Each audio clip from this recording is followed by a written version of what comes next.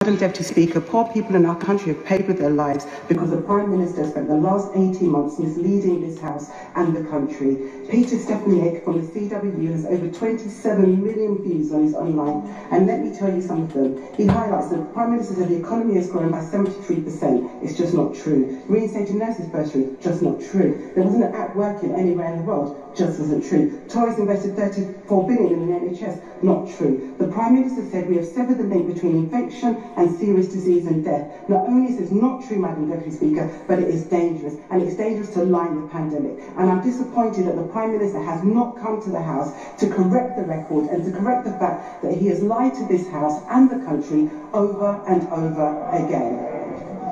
Uh, order. I'm, I'm sure that the um, the member will um, reflect on um, her words just then, perhaps correct the record.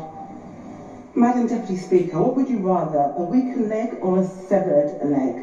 You know, at the end of the day, the Prime Minister has lied to this House time and time Can't say again. right. And it's funny that we get in trouble in this place for calling out the lie rather Why? than the person lying. Order, order, order.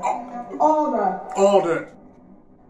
Can you re- please, please reflect on your words and withdraw your remarks? Speaker, I've reflected on my words and somebody needs to tell the truth in this House that the Prime Minister has lied. Lied? You can't say lie. The government doesn't lie. Ever. Ever.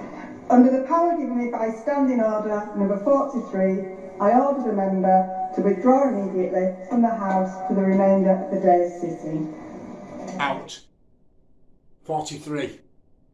Government never lies, which comes after 42, which is the answering to the meaning of life and everything.